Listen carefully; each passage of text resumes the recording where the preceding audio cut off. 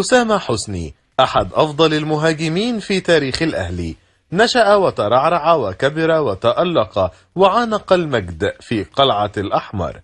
أسامة حسني المهاجم الأهلاوي صاحب الأداء الأوروبي. صعد للعب مع الفريق الأول بعد أن تألق تألقا لافت للأنظار في جميع المراحل السنية بقطاعات الناشئين والشباب بالأهلي. أسامة حسني هو أحد حبات عنقود المواهب الأهلاوية ونجح حسني في الدخول لقلوب عشاق القلعة الحمراء بسبب أدائه وأخلاقه العالية. لم يثير حسني أي مشكلة طوال مشواره الكروي مع القلعة الحمراء سواء شارك مع الفريق أو أثناء جلوسه على مقاعد البدلاء.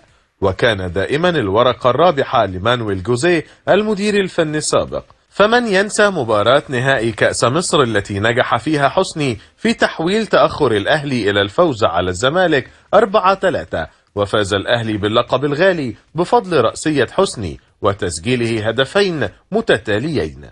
أسامة حسني يلقبه أقرانه في النادي بالمنقذ لأنه كان على استعداد دائم وجاهز لإنقاذ الفريق في الأوقات الحاسمة. فعند غياب الجميع يكون أسامة حاضرا بأهدافه الحاسمة.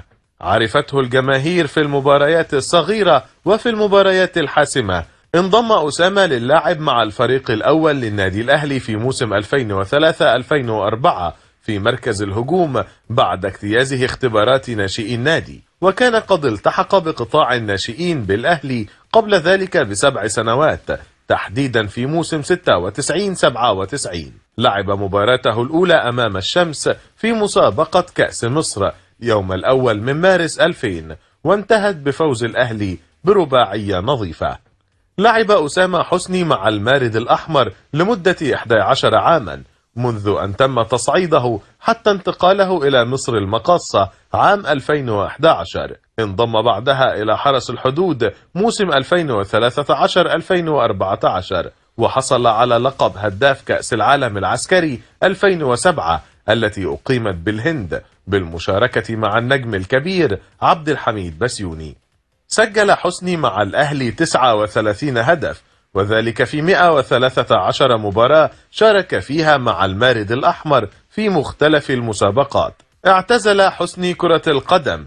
واتجه إلى مجال التدريب وكانت البداية مع جهاز الكابتن محمد يوسف المدير الفني السابق لسموحة وتولى معه حسني منصب المدرب ثم عمل مدربا عاما مع الكابتن سمير كمونة المدير الفني السابق لفريق شباب الأهلي قبل أن ينضم إلى الجهاز الفني لمنتخب الشباب حاليا بقيادة الكابتن حمد صدقي المدير الفني. ويتولى أسامة حسني منصب المدرب ضمن جهاز المنتخب.